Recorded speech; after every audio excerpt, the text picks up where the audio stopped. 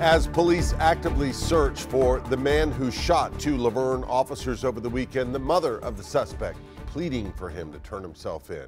Good evening, everyone. I'm Rhori Johnston. And I'm Carrie Sharp. The suspect's mother turned to News Channel 5 and Jennifer Kraus today, hoping that John Drake Jr. would hear her message and her anguish as the manhunt for her son is now in its third day. You need to just turn yourself in. I still love you and I always will. Because you're my child. I can't stop loving you.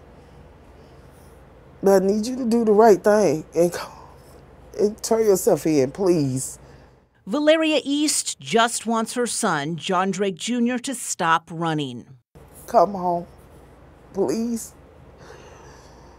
This is your mama telling you to come.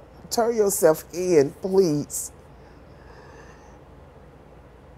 It's, it's not going to get any better.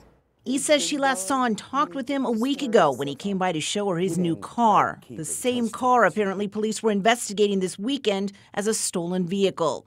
And ever since she got word Saturday that he'd shot two police officers and then ran, as any mother, she's been worried sick and is desperately afraid of what might happen. Just want him to turn himself in so he'll be okay.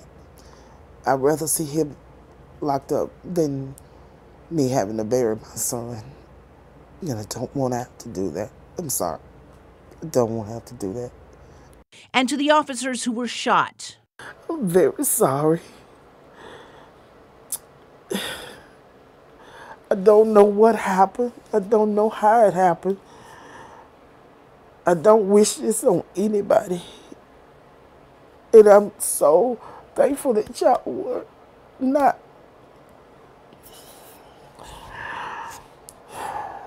I'm so thankful that y'all are living and breathing. East says her son has struggled since he got in with the wrong crowd as a teen and involved with drugs. She wants him and everyone else to know she does not condone what he's done because it was wrong. But East believes the 38 year old man she still calls Little John is running because he's scared, and she hopes he's listening. So, what would you tell him? Find the strength and think about your mama and come and turn yourself in. That's what I would tell him you know the right thing to do. Let's get it done. As we have reported, John Drake Jr.'s father is Metro's police chief.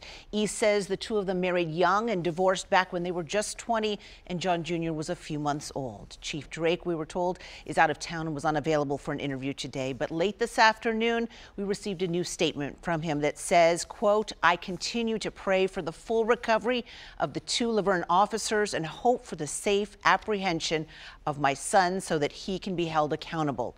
Anyone who sees him should notify law enforcement. Carrie? Jen, so tough. You can hear her heartbreak. Thank you.